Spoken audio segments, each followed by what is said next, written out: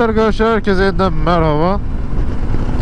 Yalnız yola çıktığımdandır büyük bir avantajım var. Rüzgar hep arkadan esiyor. Yani bildiğiniz hep arkadan es- esiyor. Onun için çok keyifli bir yol oldu. Şu manzaraya da bakarsanız arkadaşlar muazzam bir manzara var ya. Ya bu yani Türkiye'nin her tarafı bir ayrı bir güzel. Ve gerçekten de büyük keyif alıyorum yani. Bu İç Anadolu'ya benzettim şu an. Tam İç Anadolu değil ama biraz yani böyle. İç Anadolu'nun arkadaşlar o şimdi her yerin kendine göre bir zevki var diyorum ya kendine göre. Şimdi Niğde'ye baktığınız zaman yani boş dağlara dağlarda işte bakarsınız bir tane falan ağaç görürsünüz. Yani bir şey yok yani hiçbir şey yok.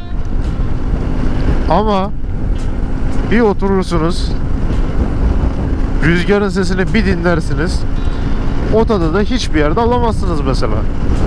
Bunun gibi. Ya her yerin kendine göre tadı var. Kendine göre güzelliği var.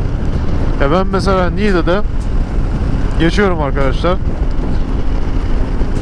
Yani açıyorum bu Neşet Ertaş'ı falan.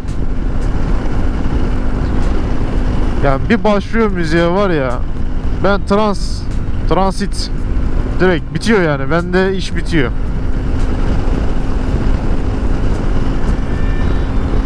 Buraların da ama güzel bir coğrafyası var. Önceden yeşili çok severdim yani. Aslında Trabzon'da olmamın da büyük bir etken diyebiliriz. Yalnız şu an o kadar yeşile değil de şu an biraz bozkıra. Böyle bir bozkır gördüğüm zaman heyecanlanıyorum. Yani o topraklar benimle konuşuyor resmen ya. Böyle bir durum yaşıyorum.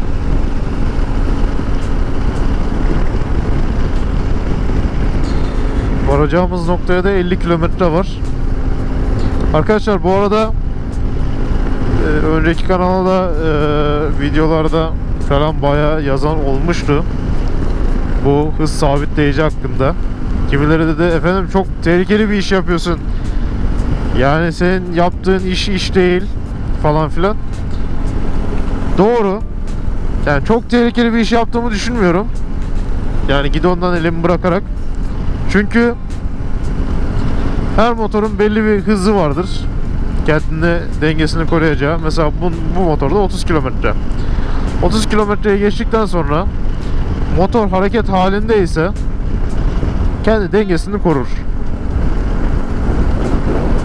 Her motorda böyledir. Her iki tekerli araçta böyledir. Motor gidiyorsa dengesini korur. Ya bunda çok da bir böyle aman efendim çok yani uranyumla oynuyorsun resmen gibisine bir tehlike ben görmüyorum yani açıkçası. Bu gaz sabitleyici de bak benim mesela kendi arkadaşlarıma da söyledim. Bunu işte kullanan oldu, kullanmayan daha kenara koyan oldu, daha deneyeceğim diyen oldu. Uzun yola çıkan arkadaş, mesela geçenlerde bir tanesi, ya dedi niye önceden bana vermedin? Ya dedim muazzam bir şey ya, hani uzun yolda bildiğin dedim muazzam bir şey. E ben verdim zaten, kullanmadın zaten kendin. Ama gerçekten uzun yolu, uzun yolda çok güzel işe yarıyor bu hız sabitleyici. Gaz sabitleyici aslında. Gazı sabitliyor. Şimdi gaz sabitlemenin ne, ne gibi bir avantajı var? Şimdi arkadaşlar bu gazı mesela çevirdiniz hızınız oldu bak burada 90 bıraktınız düştünüz 80'lere sonra baktınız bir daha 90'a çıktınız bu arkadaşlar şimdi enerjinin korunma yasasıyla da eee, yani verim %100 olamayacağı için buradan hızınız iniyor ve çıkıyor. Aynı hıza çıkıyorsunuz. Ama burada ne oluyor? Fazla yakıt harcıyorsunuz. Şu an mesela sabit 90'da gittiğim zaman belli bir yakıt akışı var. Yani standart bir yakıt akışı var. Böcek gidiyordu ama ezmedik inşallah. Bunu ben bozmuyorum şu an. Onun için yakıt ekonomisi sağlıyor. Çünkü gaz sabit. Sabit bir şekilde gidiyor. Haliyle bunu denemenizi tavsiye ederim. Ama başlarda bir alışma süreciniz olabilir. Yani direkt haşırt diye çevirip de gideyim diye bir şey denemeyin. Yani önce bir alışın. Sonra hani vücudunuzun bir parçası gibi eee, kullanmaya başlayacaksınız zaten. Ve benim için mesela çok da güzel bir alet. Uzun yolda gidiyorum. Bak sabit. Ya elimi de bırakabiliyorum ama şimdi bazen bırakıyorum bazen tutuyorum. Bak bazen böyle tutuyorum. Hani illa böyle e, uranyumla oynuyorsun diyenlere bak tutuyorum. Bir efor sarf etmiyorum. E ya karşına bir şey çıksa? Ya al. Bu kadar. Bak bitti. Bak bitti. Gazı kapattım direkt. Gördün mü? Bak gazı açtım şu an sabit. Yukarı kaldırdım. Aşağı indirdim. Sabit. Yukarı kaldırdım. Mandalı aşağı indirdim. Sabitlendi. Kapattım. Bak bitti. Bu kadar. Bundan başka bir şey yok arkadaşlar. Ya çok da böyle akla deve bir teknoloji de yok ama basit ve etkili bir alet. Denemenizi tavsiye ederim şahsen. Yani ben uzun yolda rahat ediyorum haliyle. Ya bazı şeyler vardır arkadaşlar. Şimdi mesela şu cam olmasa ben günde 300-400 kilometreden daha fazla gidemem. Yani mümkünat yok. Boyun ağrısından ben duramam. Duramam yani. Mümkün değil. Çünkü denedim. Çok boynum ağrıyor. Ya kimisinin vardır başka yeri ağrır, kimisinin beli ağrır, kimisinin totosu ağrır. Ya benim öyle değil. Ben yani boynum ağrıyor. Böyle sürekli rüzgar vurduğundan. Çünkü şöyle bir baskı yaptığımı düşünün. Sürekli yaptığımı düşünün. E ne olur bu bir, bir süre sonra ağır yapar değil mi? Yani naked motorun dezavantajı. Ama bu camı takaraktan en azından bundan bir nebze kurtuldum. Ha var mı? Var. Ama e, şu anki e, ekipmanlarla, şu anki haliyle e, daha uzun kilometreleri daha rahat bir şekilde yapıyorum. Ha mesela şu arkadaşlar e, tek 90 pantolonum var. Ya bu çok üstüme kalıp oturuyor resmen. Ya hani bildiğiniz kalıp yani. Şimdi şurasında koruması var diz kapaklarında. Haliyle bir herhangi bir soğuk işlemiyor. Soğuk zamanlarda da soğuk işlemiyor. Onun dışında rüzgar gelmiyor oraya. Bak mesela botlarım var. Botlar tam kalıp koruyor böyle.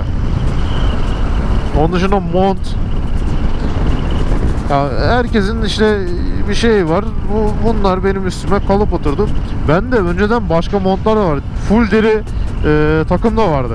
Şimdi hani bir laf var ya alışmadık donda şey durmaz hesabı. Alışmadık şeyde don durmaz hesabı.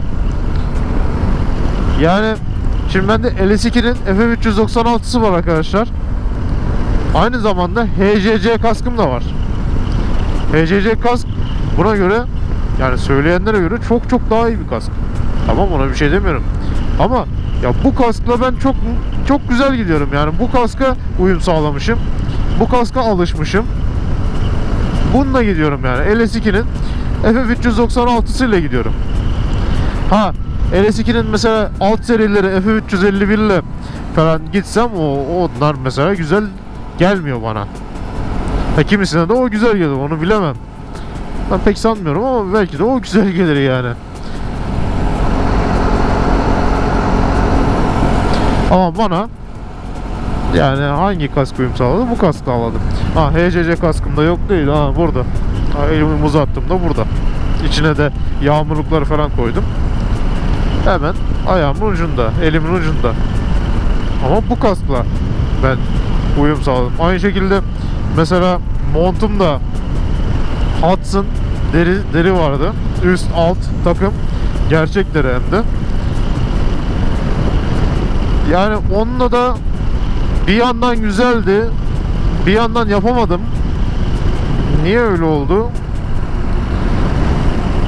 Yani ben bu tek 90'a daha iyi alıştım sanki ya. Veya o beden mi tam uymadı bilmiyorum ama tam uyum sağlayamadım yani. Tam olmadı. Sık yani nasıl diyeyim size bunun gibi uyum sağlamadı. Aynı şekilde alışmaya da bağlı. Ben onları sonrasında satmıştım. 1000 liraya almıştım. 1000 liraya ne satmıştım gene. Ama çok güzel montlardı.